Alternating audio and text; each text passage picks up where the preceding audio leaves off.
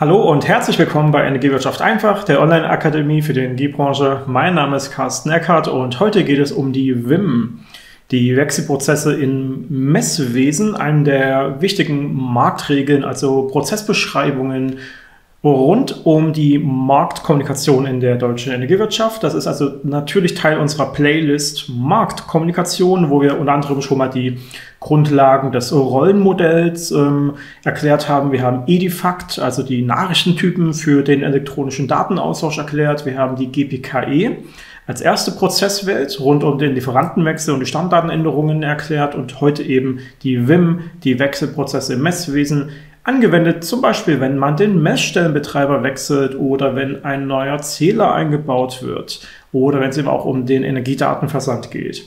Energiedaten an sich werden wir auch nochmal in ein separates Video packen, heute ein bisschen allgemein die Prozesswelt rund um den Messstellenbetreiberwechsel und so weiter. Die WIM ist also genauso eine Marktregel wie die GPKE, die MPES, die MABES, die GDGAS und so weiter. Die WIM gibt es grundsätzlich oder gab es vor allem grundsätzlich für beide hauptsächlich regulierten Sparten, also Strom und Gas. Allerdings mit dem Messstellenbetriebsgesetz von ähm, 2016 wurde dann die WIM für Gas ähm, streng genommen außer Kraft gesetzt. Das heißt, wir haben heute eigentlich eine Marktregel von der Bundesnetzagentur für Strom und im Gasbereich ganz streng genommen nur eine Anwendungshilfe ähm, von den Branchenverbänden, die aber auch die ja, Prozesslandschaft hm, beschreiben. Und die Bundesnetzagentur hat gesagt, ja, alles klar, macht das mal so. Aber wir müssen wissen, Gas, Wechselprozess im Messwesen ist nicht ganz so fest reguliert wie Strom. Na, das müssen wir als Grundlage erstmal annehmen.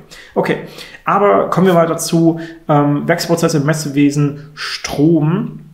Ähm, das schauen wir uns jetzt mal hier an. Also, bei der Bundesnetzagentur, Beschlusskammer 6, finden wir natürlich dann die WIM, ähm, wie so oft in einer Übersicht der aktuell gültigen Fassung, die in der Form seit April 2020 gilt und noch bis April 2022 gelten wird. Hier ist dann drunter auch schon genau die nächste Variante verlinkt. Ich zoome mal ein bisschen näher ran, damit ihr das auch sehen könnt. Hier ab April 22 im Rahmen der Marco 2022 die nächste Variante. Die Marco 2022 wird dann auch der Höhepunkt dieser Playlist sein, wenn wir dann demnächst dazu übergehen, im Detail zu erklären, was dann im April nächsten Jahres so kommen wird. Und hier unten eben auch der Link auf die bisher gültigen Fassungen. Und da gucken wir zumindest mal kurz rein, weil wir dann natürlich sehen können, ja, was war denn die Historie? Die allererste WIM kam äh, im Oktober 2011 und ähm, ist dann ein halbes Jahr später schon mal geupdatet worden. Das bedeutet natürlich, damals ist der Messmarkt im Großen und Ganzen auch schon liberalisiert worden, nachdem wir den Wettbewerb für die Versorgung geschaffen haben und durch die GPKE und GDGAS dann auch in ein Marktregeln gepackt haben wurde danach auch der Messmarkt liberalisiert. Das ist aber nie so richtig losgegangen. Ähm, das hat keiner so richtig, richtig, richtig genutzt. Viele, die schon lange dabei sind, werden sich daran erinnern, dass Yellowstrom es mal wirklich stark versucht hatte und als Tochter von NBW natürlich auch die finanziellen Mittel hatte, um das mal bundesweit auszurollen. Aber auch die haben ihre Messdienstleistungen dann irgendwann wieder rückabgewickelt. Es gab einfach keinen richtigen Zweck für einen wettbewerblichen Messmarkt bis der Smart Meter Rollout dann kam. Und das sehen wir dann hier eben auch. Ne? Das nächste Update war dann ähm, im Oktober 2017, nachdem ungefähr ein Jahr davor das Messstellenbetriebsgesetz ja novelliert wurde. Und dann haben wir zum Dezember 2019 natürlich die Marco 2020 Variante. Auch da gab es natürlich noch mal einige Anpassungen rund um eben dann die Ausgestaltung des Smart Meter Rollout. Das ist also die Historie. Und weil es dann nochmal kleine Anpassungen gab, ähm, ihr werdet euch erinnern, wegen der Marktmanipulation im Sommer 2019, in der dann einige Kraftwerkskapazitäten zurückgehalten wurden und Energiedaten entsprechend nicht ganz korrekt ähm, im, gemeldet wurden, das Monitoring also schwierig war, wurde ja beschlossen, dass alle RLM-Messwerte, also alle von großen Lastgangkunden, ähm, auch praktisch dauerhaft übertragen werden sollen an die Übertragungsnetzbetreiber. Dafür musste die WIM geändert werden und das ist hier zum April 2020 passiert. Deswegen April 2020 als aktuellste Variante. Da könnt ihr dann auch einfach mal reinschauen. Äh, ihr werdet dann hier immer zwei Dokumente im Großen und Ganzen sehen. Äh, die obere mit Wim gültig seid. Das ist dann die eigentliche Wim mit den Prozessbeschreibungen und Diagrammen.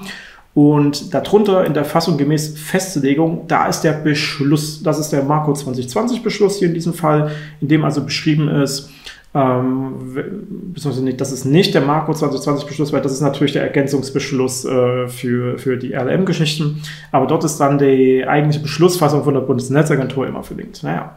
Und ähm, dahinter hier dann nochmal eine ergänzende Mitteilung, und das ist genau die, ähm, aktuellste auch noch, die wiederum äh, Neuigkeiten rund um das EEG gebracht hat. Da geht es um den äh, Messdatenversand, um bei intelligenten Messsystemen und Einspeisanlagen, bei der es einen teilweisen Eigenverbrauch gibt, also ein sehr spezieller Fall, aber das wurde wegen der EEG-Novelle nochmal eingefügt. Es wird komplex, wie ihr merkt. Ähm, das könnt ihr alles hier über diese Links euch anschauen. Wir verlinken natürlich diese Seite mit in der Videobeschreibung. Wir gehen jetzt gar nicht tiefer rein in diese Besonderheiten, sondern wollen in die eigentliche WIM. Und die WIM ist also, wie gesagt, so ein ähm, Dokument wie die ganzen anderen Prozessbeschreibungen. Äh, auf dem Deckplatz seht ihr dann immer die aktuelle Variante. Hier eben die vom April mit dieser gerade erwähnten Ergänzung rund um das EEG vom Juli 2021 das ist auf jeden Fall erstmal die Variante, die aktuell noch gilt, bis dann im April 2022 die neue Variante kommt. Die WIM ist dann, so wie alle anderen Marktregeln, ähm, strukturiert, dass wir einen einführenden Bereich haben, wo dann wie so oft äh, beschrieben wird, mh, hm, ja, was macht jetzt diese Prozessbeschreibung, was macht jetzt diese Marktregel? Die beschreibt eben zum Beispiel, okay, welche Rollenobjekte, das ist das in dem Rollenmodell. Ne? Also äh, wir, wir reden über Marktlokation und Messlokation, wir reden über Messstellenbetreiber, Netzbetreiber und äh, Lieferanten und Übertragungsnetzbetreiber und Bilanzkreisverantwortliche. Ne? Also diese grobe Beschreibung dessen, wer ist jetzt hier beteiligt. Datenaustausch, Datenformate, ganz klar Edifact, brauchen wir gar nicht drüber nachdenken, haben wir schon erklärt. Vollmachten, ähm, da geht es eben zum Beispiel darum, wie auch im Lieferantenwechsel, dass natürlich der Kunde einen Messstellenbetreiberwechsel beauftragen muss, sonst äh, funktioniert das nicht. Aber Vollmachten, wie auch in allen anderen Bereichen, nicht mitgeschickt werden müssen mit einer Kündigung, die äh, praktisch der Messstellenbetreiber im Namen des Kunden macht. Da sichern wir nur vertraglich ab, dass wir Vollmachten haben. Wir schicken sie aber nicht mit, weil es dafür keine Standardschnittstelle gibt. Und das wird auch nicht allzu schnell kommen. Das war durchaus in Diskussionen rund um die Marco 2022, aber es wird keine Standardschnittstelle für Vollmachten geben. Daher ähm, sichern wir nur zu, dass es wir die haben, dass der Kunde uns wirklich beauftragt. Und nur in begründeten Einzelfällen darf der Marktpartner anfordern, dass wir eine Vollmacht mitschicken würden, was dann zum Beispiel der unterschriebene Vertrag ist, den der Kunde entsprechend unterschrieben hat. Identifizierung einer Messlokation, typischerweise über die Melo-ID. Das ist, ähm, die alten Hasen wissen, ist die 33-stellige Zählpunktbezeichnung von früher. Äh, kann alternativ aber auch mit Adresse, Zählernummer, bestenfalls noch mit Marktlokations-ID gemacht werden. Ne? Also es gibt gerade bei der Erstanmeldung ähm, die Wahrscheinlichkeit, dass der Kunde die Messlokations-ID nicht mitgegeben hat und deswegen über die anderen klassischen Wege auch hier eine Identifizierung möglich machen können. Der Marktpartner muss dann innerhalb von drei Werktagen identifizieren und zwar muss er gründlich prüfen, ob er es finden kann und nur wenn er es wirklich sorgfältig nicht identifizieren konnte, darf er eine Meldung ablehnen. Ähm, das muss also auch wirklich wie immer äh, gründlich machen. Fristenberechnung genauso auch wie im GBKE-Bereich. Werktage erstmal hauptsächlich, die genommen werden. Äh, Feiertage fallen raus. Und ähm, nur teilweise wird dann zum Beispiel mit der Marco 2022 im April nächsten Jahres ähm, werden verschiedene Datenversände bei, bei, bei Messwerten äh, von einem werktäglichen Versand auf einen kalendertäglichen Versand zum Beispiel angepasst. Ne? Das kommt dann demnächst. Aber genau sowas ist dann auch hier geregelt, Fristenberechner. Viele dieser Punkte, das werden wir dann gleich sehen, wenn wir runterscrollen, werden in der WIM gar nicht genau beschrieben, sondern verweisen auf die Regelung in der GPKE. Und das macht es natürlich einfach, wenn wir uns schon mit den Lieferantenwechselthemen in der GPKE beschäftigt haben und das schon kennen, dann wird vieles in der WIM genauso referenziert. Das ist ähm, insoweit einfacher für die Kollegen, die sich damit schon beschäftigt haben. Und dann finden wir die Basisprozesse und weiter unten die übergreifenden Prozesse, ähnlich wie in der GPKE. Wir haben Basisprozesse, die, die den eigentlichen Kern der äh, WIM beschreiben und dann die übergreifenden, die praktisch auch wieder referenziert werden können in anderen Marktregeln. Das so kommen wir gleich noch. Basisprozesse, erstmal ein paar Grundregeln für den Wechsel des Messstellenbetreibers und dann die eigentlichen Prozesse dazu. Ne? Die Kündigung des Messstellenbetriebs. Im Auftrag des Kunden kündigt ein Messstellenbetreiber den alten Messstellenbetreiber. Äh, praktisch die zivilrechtliche Behandlung, ne? also dass ein Vertrag muss gekündigt werden, sonst läuft er einfach weiter und verlängert sich im Zweifel. Beginn Messstellenbetrieb, die Anmeldung des neuen Messstellenbetreibers beim Netzbetreiber, die Info praktisch, hey, ich bin dann drauf, ich bin dann der neue Messstellenbetreiber. Und erst wenn der Netzbetreiber das bestätigt, ist es auch tatsächlich so. Ende Messstellenbetrieb, ähnlich wie ein Lieferende, praktisch die Abmeldung.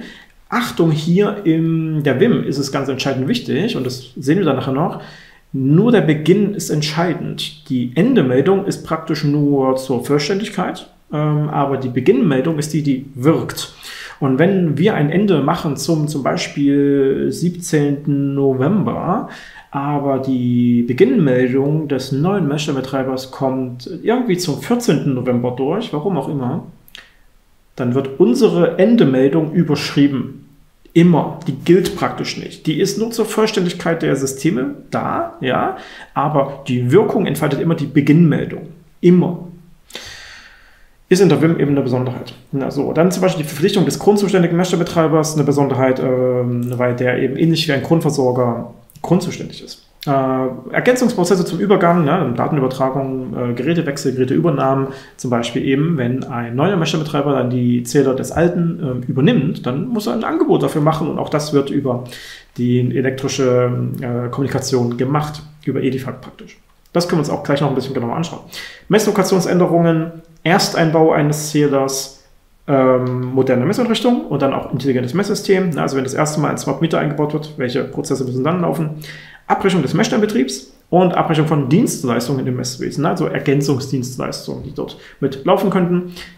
Dann römisch 3 die, wie vorhin schon angedeutet, übergreifenden Prozesse, Störungsbehebung in der Melo und Anforderung und Übermittlung von Werten, also Energiemengen, die übertragen werden.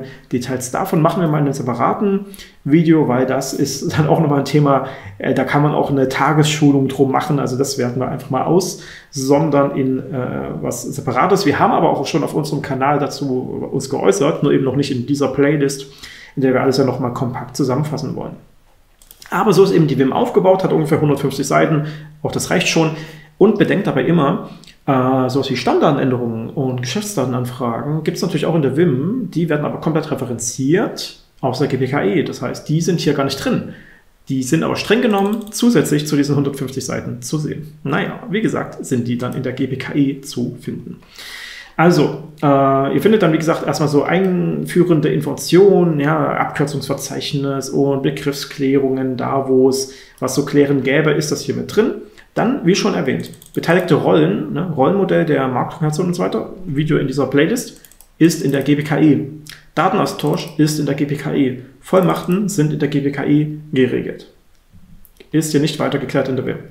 Identifizierung einer Melo durch, wie vorhin erwähnt, Melo-ID, das sind die 33 Stellen, C-Punkt-Bezeichnung, oder eben hier geklärt, gibt es eine Malo-ID, gibt es eine postalische Adresse mit Zählernummer und vielleicht noch weitere Zusatzangaben zur Konkretisierung. Alles klar, dann kann geprüft werden und nur wenn es eben unter gebotener Sorgfalt nicht identifiziert werden konnte, darf man ablehnen als Marktpartner. Fristenberechnung zu finden in der GPKI. Relativ kurzes Kapitel also. Und dann die Basisprozesse nach so ein paar grundlegenden Infos zum Wechsel, wo dann eben auch geklärt wird, naja, es geht immer um volle Tage, ne? also ähnlich wie beim Lieferantenwechsel. Ein Beginn beginnt immer um 0 Uhr 0 eines Tages, ein Ende immer praktisch so 23.59 Uhr. Das ist für die Fristenberechnung entsprechend wichtig. Ein Ende wird immer mit reingerechnet, ein Beginn wird nicht mit reingerechnet. Ein Beginn muss also fristentechnisch immer am Vortag ähm, noch erreicht werden können. Und das ist dann ähm, auch hier in den Anmeldeszenarien nochmal erklärt, wo vor allem nochmal darauf hingewiesen wird, dass eben der Zuordnungsbeginn, beim Lieferantenwechsel der Lieferbeginn, hier im Mesher-Betrieb eben der Zuordnungsbeginn die entscheidende Meldung ist, während das Zuordnungsende im Zweifel, das können wir hier im dritten Szenario sehen, dann nämlich eben auch überschrieben wird. Wie ich vorhin mal erwähnt hatte, wenn das Zuordnungsende vom, vom alten Mesher-Betreiber hier eigentlich auf den 20. gesetzt wird, der Zuordnungsbeginn des neuen Mesher-Betreibers wird aber irgendwie zum 18. realisiert, dann wird das Zuordnungsende automatisch geschoben das ist dann vollkommen egal, dass wir vorher diesen Prozess erfolgreich zum 20. haben setzen können. Das wird dann einfach überschrieben. So ist es in der WIM. Okay, ähm, und dann kommen wir wie auch in den anderen Marktregeln zu den typischen Beschreibungen. Da haben wir zum einen immer die einführenden ähm, Informationen in dieser Tabelle. Ich schaue mal, ob ihr das hier noch ein bisschen besser neben mir sehen könnt. Ah ja, genau, so habt ihr noch ein bisschen mehr im Blick, dann überdecke ich das hier nicht mit meinem Bild. Ähm, in dieser Tabelle finden wir immer sowas wie, was ist das Prozessziel, was ist, das, was ist der Erfolgsfall, was ist der Fehlerfall, was kann dabei schiefgehen und so weiter. Ne? Äh, Beschreibung dieses Prozesses, bla bla. Ne? Also das ist diese typische einführende Information, die ist wichtig, wenn man einen Prozess zum Beispiel neu kennenlernt und verstehen will. Diese Tabelle erklärt nämlich im Großen und Ganzen abschließend, worum geht es in diesem Prozess. Das im Zweifel ausdrucken und das Kopfkissen legen, dann hat man verstanden, wie ein Prozess gemeint ist. Und danach, wie eben auch immer in den anderen äh, Marktregeln, gibt es ein Sequenzdiagramm mit äh, praktisch den beteiligten Marktrollen und den Schritten, ne, den Sequenzen. Erstens, zweitens. Die Kündigung ist denkbar einfach, denkbar kurz, deswegen kann man das mit erstens und zweitens auch zusammenfassen. Und das wird wie so oft hier so dargestellt, ne? einmal Messstellenbetreiber neu N und einmal Messstellenbetreiber alt A. Und hier Schritt 1, wir schicken eine Kündigung raus, dann muss der was prüfen und Schritt 2, Antwort auf die Kündigung. Simpler Prozess. Und dann steht hier drunter, wie so oft, eine Tabelle, die das nochmal erklärt. Ne? Beim ersten Schritt muss man nicht viel erklären, Kündigung wird halt rausgeschickt. Und dann muss die Antwort aber innerhalb von drei Werktagen nach Eingang der Kündigung zurückgeschickt werden. Ne? Das ist dann zum Beispiel hier eine Frist, die zu beachten wäre. Und weitere Hinweise, naja, er kann dann eben das Ganze bestätigen, ohne inhaltliche Änderungen, mit Abänderungen. Punkt. Und äh, das ist dann eben auch nochmal wichtig, um zu verstehen, was in diesen Prozessen so läuft. Für manche WIM-Prozesse gibt es auch schon Entscheidungsbaumdiagramme in diesem berühmten Dokument der Entscheidungsbaumdiagramme. Das werden wir auch noch in einem separaten Video machen. Wir haben es aber auf dem YouTube-Kanal ganz allgemein schon mal erklärt, als es im April letzten, letztes Mal praktisch eingeführt wurde. Da sind dann so verschiedene Prüfschritte nochmal genau erklärt. Das gibt es für die MSB-Kündigung noch nicht. Da stehen nur die potenziellen Antwortcodes drin. Ähm, aber im Großen und Ganzen heißt es halt, naja, der prüft halt, ähm, ist er überhaupt darauf der aktuelle Messstellenbetreiber? Was ist eine Kündigungsfrist? Ähm, kann er den Kunden so überhaupt identifizieren? Und dann ja, nein, vielleicht. Und dann eben entsprechend die Antwort. Das sind hier diese Sequenzdiagramme. Es gibt in einem ausgesonderten Dokument äh, der Aktivitätsdiagramme dann auch nochmal äh, sowas wie ein Flussdiagramm. Das googeln wir jetzt einfach mal ganz aktuell, äh, ganz aktiv hier, Aktivitätsdiagramme, GWKI und so weiter. Da haben nämlich der BDW äh, und Co., also die Branchenverbände, tatsächlich ähm, separate Dokumente veröffentlicht. Und ich meine, dass das auch noch hier dann das Aktuelle sein sollte. Wenn, nee, das ist glaube ich nicht das ganz Aktuelle, Warum auch immer mir das Googlen da jetzt nicht geholfen hat. Moment, das, das kriegt man noch mal hin. Aktivitätsdiagramme. Das war jetzt die Seite, glaube ich. Also ist hier mit der. Ähm, da findet ihr nämlich nochmal eine andere Darstellung. Ja, während das hier ja nur dieses Sequenzdiagramm ist mit den Schritten, die nacheinander praktisch äh, durchlaufen sind, gibt es in dem anderen, ja hier, ich glaube, das ist das aktuelle, ja, genau, 14. Mai. Das sieht doch schon mal ganz gut aus. Das dürfte es sein. Gibt es in den anderen praktisch ein Aktivitätendiagramm, was, wie ihr jetzt schon sehen könnt, gar nicht mal so uninteressant ist. Kündigung Messsteinbetrieb. Das ist jetzt praktisch dieser Prozess. Ja, das hier ist die Kündigung des Messsteinbetriebs. Schritt 1, Schritt 2. Viel mehr steht da nicht. In diesem Aktivitätendiagramm steht eigentlich dasselbe, nur nochmal anders dargestellt. Kündigung starten, Kündigung rausschicken. Das ist praktisch Schritt 1. Kündigung prüfen, das ist dann das, was MSB alt machen muss. Ihr könnt es auch gerade noch lesen, genau. Ähm, dann eben, ja, was passiert bei einer Zustimmung, was passiert bei einer Ablehnung. Na, also so ein richtiges Flussdiagramm mit Entscheidungspunkten. Kündigung verarbeiten und Antworten. Ne, das ist praktisch dieser, dieser Schritt 2 gewesen, die Antwort. Das ist dann hier so dargestellt. Aber dann, was sind die Nachfolgeprozesse? Ende des Messstellenbetriebs anstoßen, Beendigung der Übermittlung von Werten an den Energieserviceanbieter. Das hier ist noch gespoilert. Das kommt eigentlich erst zum April nächsten Jahres. Also das ist praktisch jetzt vor, vorab genommen. Ähm, das sind die Aktivitätendiagramme inklusive der Änderungen von nächstem Jahr.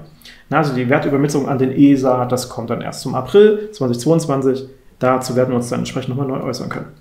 Nee, genau. Und jedenfalls findet ihr hier dann nochmal solche Aktivitätendiagramme. Das ist nicht uninteressant. Und so ist es einfach, äh, damit zu arbeiten. Ihr geht praktisch durch die WIM, schaut euch hier diese ganzen Tabellen an, schaut euch die Diagramme an, die in komplexeren Prozessen auch ein bisschen komplexer natürlich werden, mehr und mehr Absprünge auf Folgeprozesse haben, mehr und mehr optionale äh, Fälle haben und damit kann man sich eben hier schön durcharbeiten. Entsprechend sind auch die nachfolgenden Aktivitätsdiagramme ein bisschen komplexer. Da findet ihr entsprechend viele Möglichkeiten, was da alles laufen kann und wie man dann damit eben umgeht. Auch das verlinken wir natürlich in der Videobeschreibung. Zum Abschluss, naja, zu Marktkommunikation gehört natürlich jetzt auch die Abwicklung der Datenübertragung. Das ist wie immer bei ED at Energy. Ähm, dort findet ihr verschiedenste Dokumente, mit denen es hier gearbeitet werden würde. Wie gesagt, Energiedaten machen wir mal in einem separaten Video. Energiedaten, wie ihr bestimmt schon wisst, findet man in der MS-Cons. Da bin ich jetzt daran einfach vorbeigescrollt. Genau. Bewegungsdaten. Ähm, hier habt ihr wie immer ein MIG, ein Message Implementation Guide Implementierungshandbuch, könnte man sagen, und ein Anwendungshandbuch, in denen sich dann eben verschiedenste Informationen wiederfinden würden, zum Beispiel eben, was man in so eine Nachricht reinschreibt, wie man es reinschreibt, was in welchen Nachrichtentypen genau eigentlich Pflichtfelder sind und was man in welchem Szenario dann eben wie dort reinschreibt. Das ist da drin dargestellt. Ist aber komplex, haben wir schon mal angedeutet und machen wir rund um Energiedaten hier nochmal ganz genau. Ihr findet dann aber noch weitere Datenformate, die wir in den WIM anwenden, zum Beispiel die IFSTAR. Und wenn wir in diese Anwendungshandbücher reinschauen, dann finden wir dann im Inhaltsverzeichnis auch nochmal den genauen Hinweis darauf, was da drin geregelt ist.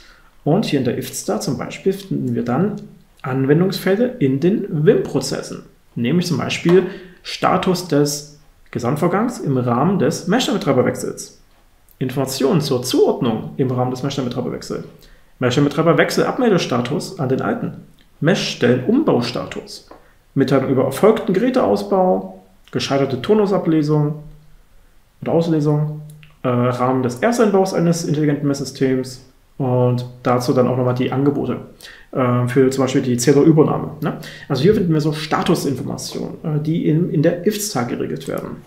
Wir finden die Inscripte und die Inscripte ist der Inspection Report, praktisch eine Meldung, ein Prüfbericht über den Zustand einer Störung, Störungsbehebung, Informationsmeldung.